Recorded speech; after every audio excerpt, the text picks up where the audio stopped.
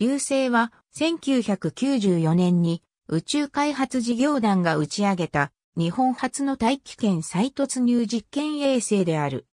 ナスダではかねてより H2 ロケット打ち上げ型有力回収機の開発が進められていたが、その完成には大気圏再突入に関するデータの蓄積が必要だった。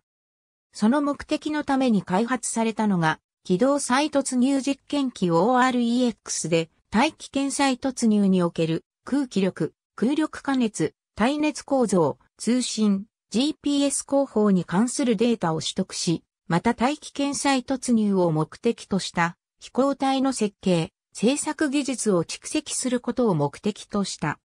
OREX は直径3.4メートル、高さ1.46メートルの円盤状の人工衛星で、円盤の片面は炭素繊維強化炭素複合材料やセラミックタイルからなる耐熱シールドになっていた。材質はホープで使用予定のものと同様だった。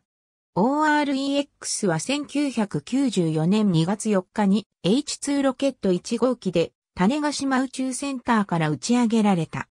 この打ち上げは2機の衛星が相乗りする形で行われ、OREX の他に H2 ロケット性能を確認用ペイロードが搭載されていた。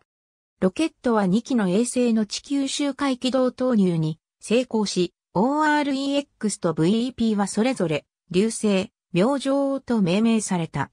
流星は1時間半かけて地球を一周した後、大気圏に再突入して太平洋上への軟着水を達成した。これは日本初の大気圏再突入の実験であった。ありがとうございます。